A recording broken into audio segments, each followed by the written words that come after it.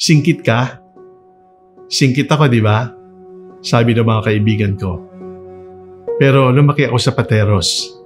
Hindi kami lumaki sa farm. At ang pagiging singkit ko ay hindi dahil ipinanganak ko sa China. Pinanganak ako sa Pilipinas. Pero may dugong Chinese yung aking mga magulang.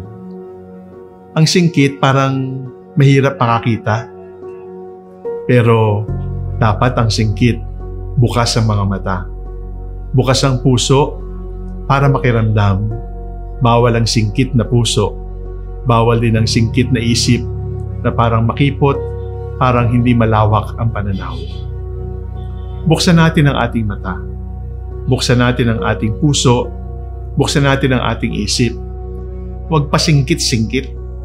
Buksan at makikita ninyo mayroong hindi magandang nangyayari sa ating kapaligiran.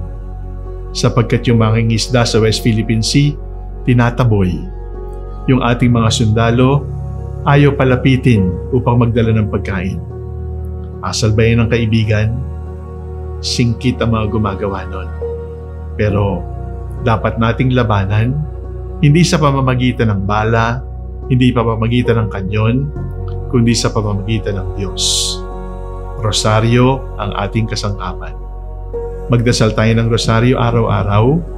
For the conversion of China, let us consecrate China to the Immaculate Heart of Mary. Let us consecrate this country to the Immaculate Heart of Mary. The victory and safety of the Philippines will come from the hands of the Immaculate Mother.